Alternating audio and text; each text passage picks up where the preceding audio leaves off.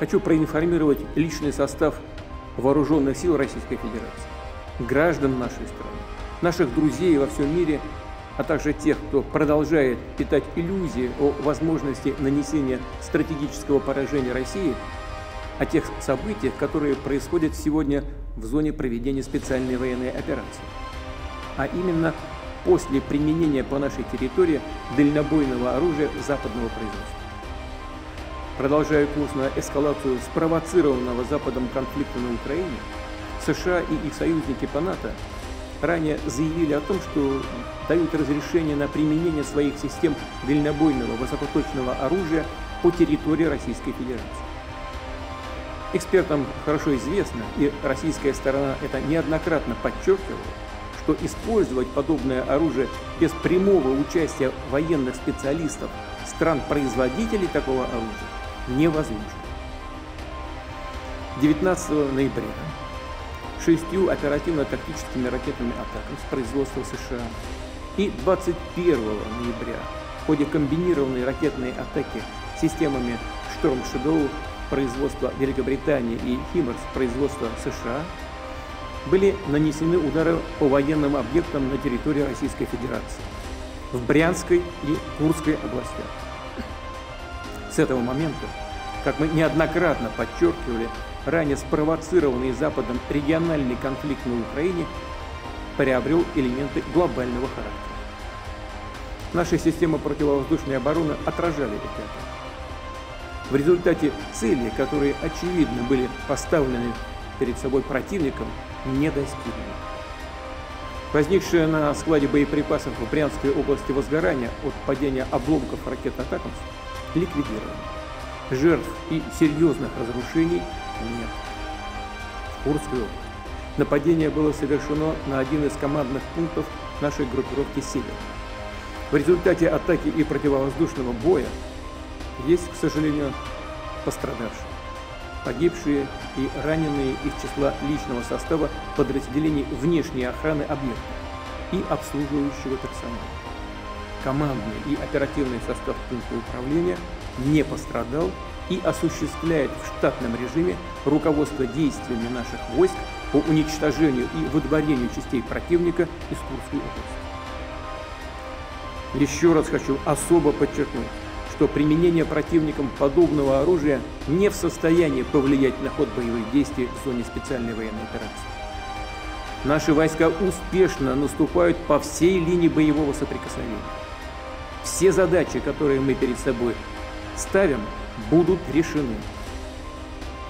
В ответ на применение американского и британского дальнобойного оружия 21 ноября текущего года российские вооруженные силы нанесли комбинированный удар по одному из объектов оборонно-промышленного комплекса Украины. В боевых условиях было проведено в том числе и испытание одной из новейших российских ракетных систем средней дальности. В данном случае с баллистической ракетой в безъядерном гиперзвуковом оснащении. Наши ракетчики назвали ее «Орешек». Испытания прошли успешно. Цель пуска достигнута. На территории Украины в городе Днепропетровске поражен один из крупнейших и известных еще со времен Советского Союза промышленных комплексов, который и сегодня производит ракетную технику, другое вооружение. Разработка ракет средней и меньшей дальности осуществляется нами в качестве ответной меры на планы США по производству и развертыванию ракет средней и меньшей дальности в Европе и Азиатско-Тихоокеанском регионе. Полагаем, что США совершили ошибку, разрушив в одностороннем порядке в 2019 году под надуманным предлогом договор о ликвидации ракет средней и дальности. Сегодня США не только производят такую технику, но, как мы видим, они в ходе мероприятий по подготовке своих войск отработали вопросы переброски в разные регионы мира, в том числе в Европу, своих перспективных ракетных систем. Более того, в ходе учений они проводят тренировки по их применению. Напомню, Россия добровольно в одностороннем порядке взяла на себя обязательство не развертывать ракеты средней и меньшей дальности до тех пор, пока американское оружие подобного рода не появится в каком-либо регионе мира. Повторю, испытания в боевых условиях ракетной системы «Орешник» проводятся нами в ответ на агрессивные действия стран НАТО в отношении России. Вопрос о дальнейшем развертывании ракет средней и меньшей дальности будет решаться нами в зависимости от действий США и их сателлитов. Объекты для поражения в ходе дальнейших испытаний наших новейших ракетных комплексов будут определяться нами, исходя из угроз безопасности Российской Федерации. Мы считаем себя вправе применять наше оружие против военных объектов тех стран, которые позволяют применять свое оружие против наших. А в случае эскалации агрессивных действий будем отвечать также решительно и зеркально. Об этом рекомендую серьезно задуматься и правящим элитам тех стран, которые вынашивают планы использовать против России свои воинские контингенты.